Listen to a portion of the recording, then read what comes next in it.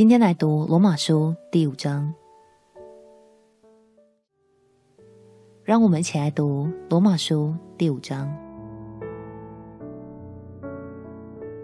罗马书第五章，我们既因信称义，就借着我们的主耶稣基督得与神相合；我们又借着他因信得进入现在所占的这恩典中，并且欢欢喜喜。盼望神的荣耀，不但如此，就是在患难中也是欢欢喜喜的，因为知道患难生忍耐，忍耐生老练，老练生盼望，盼望不至于羞耻，因为所赐给我们的圣灵将神的爱浇灌在我们心里。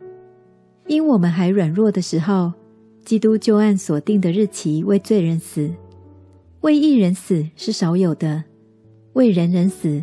或者有敢做的，唯有基督在我们还做罪人的时候为我们死，神的爱就在此向我们显明了。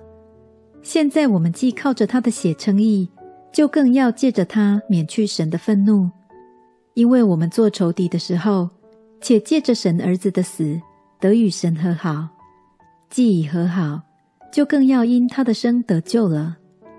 不但如此，我们既借着我主耶稣基督。得与神和好，也就借着他以神为乐。这就如罪是从一人入了世界，死又是从罪来的，于是死就临到众人，因为众人都犯了罪。没有律法之先，罪已经在世上；但没有律法，罪也不算罪。然而从亚当到摩西，死就做了王，连那些不与亚当犯一样罪过的。也在他的权下。亚当乃是那以后要来之人的预象，只是过犯不如恩赐。若因一人的过犯，众人都死了，何况神的恩典与那因耶稣基督一人恩典中的赏赐，岂不更加倍的领到众人吗？因一人犯罪就定罪，也不如恩赐。原来审判是由一人而定罪，恩赐乃是由许多过犯而称义。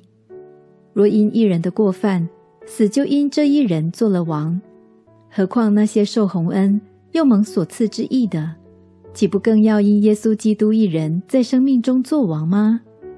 如此说来，因一次的过犯，众人都被定罪；照样因一次的异行，众人也就被称义得生命了。因一人的悖逆，众人成为罪人；照样因一人的顺从。众人也成为义了。律法本是外天的，叫过犯显多；只是罪在哪里显多，恩典就更显多了。就如罪作王，叫人死；照样恩典也借着义作王，叫人因我们的主耶稣基督得永生。